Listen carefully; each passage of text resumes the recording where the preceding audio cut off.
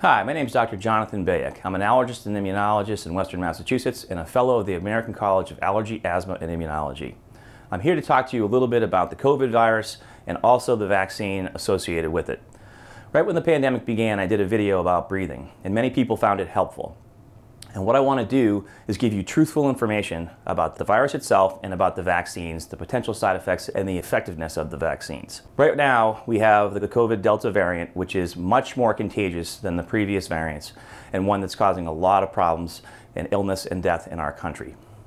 The vaccines are effective. The mRNA vaccines are particularly effective, and they work by taking a small protein that is generated in, in, our bodies to create the spike protein, which is the little spike on a ball that you see with pictures of when you look at COVID pictures, that that's what attaches to our cells that can allow us to get sick. By having the vaccine, your immune system has seen that. And because of that, if you're exposed to the virus, you are much, much less likely to get sick or to go to the hospital or to die. There are side effects of the vaccine.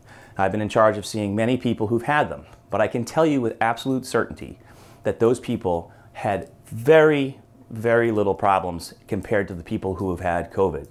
The long haul people, the people who get sick and go to the hospital, and unfortunately those who die, it's not even a comparison.